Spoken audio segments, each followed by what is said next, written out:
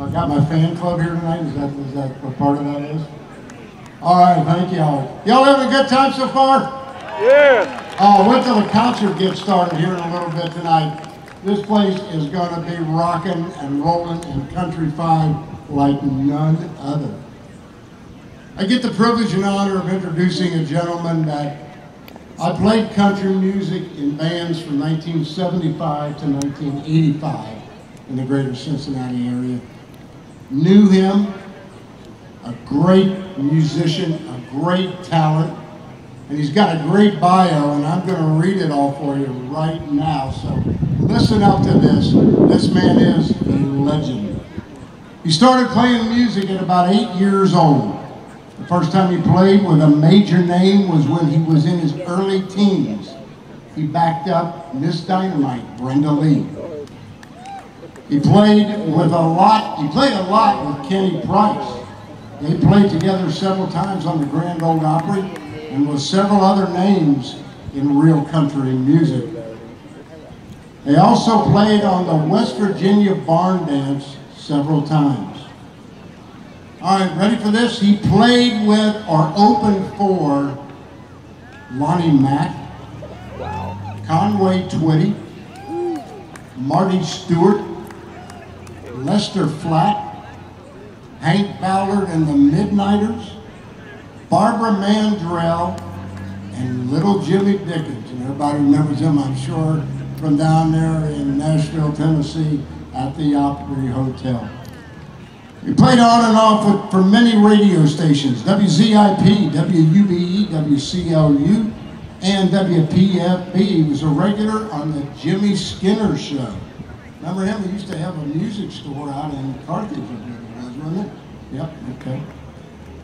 He was part of the studio band with these TV shows. Jim Scott, New Faces, Nick Clooney, and Rural Route 12 in the 1960s. Junior was one of the top session players in this area for Fraternity, Rusty York, and several others. He did a lot of studio time in Nashville and did an album with Lonnie Mack. Ladies and gentlemen, it is my privilege and honor to introduce to you Mr. Junior Spivey. Congratulations, buddy.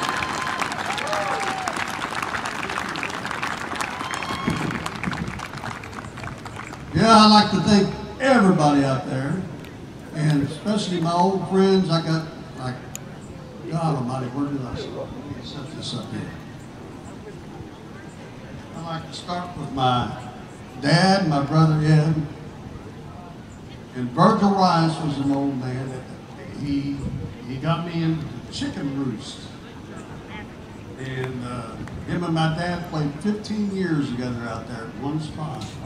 Then after my dad passed I mean, left there, he uh, hired me, and then I played there for about three and a half, four years. And then I met a man named Orangey Ray Hubbard, and he's in the Rockabilly Hall of Fame. Plus, we're in the Nashville Hall of Fame, but we're in the archives. We're not on display, but we're there. And uh, then some of my original bandmates, like uh, Harvey Purdy and a friend of mine up there today, Ed Centers. He's here, and we started way back when, I don't know when, but man, we, we had a lot of good times. And then Terry Williams, a good drummer, very good drummer. And then uh, Truman Fields. And then I got into recording, and my good buddy, Dennis Hensley, he really showed me the ropes about getting into the music business as far as recording. And he helped me along the way so many ways. And then, of course, then there was also Doug Beckelheimer and uh, Lee Hay.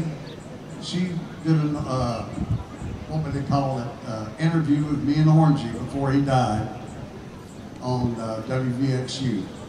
And that was really a privilege there because she is a nice woman, really did right by me and Orangey.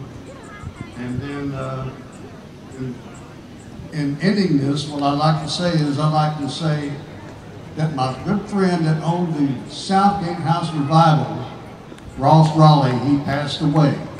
He was planning on being here, but he couldn't make it. His daughter went to wake him up this morning, and he didn't wake up. So he passed on. But he has had a lot of musicians, like me and Orangey and everybody, to play for him for many, many years. And he was a trooper, just like the rest of his guys. So, and I'd just like to thank everybody, and I appreciate the honor, and uh, hope to see you soon somewhere before I get too old.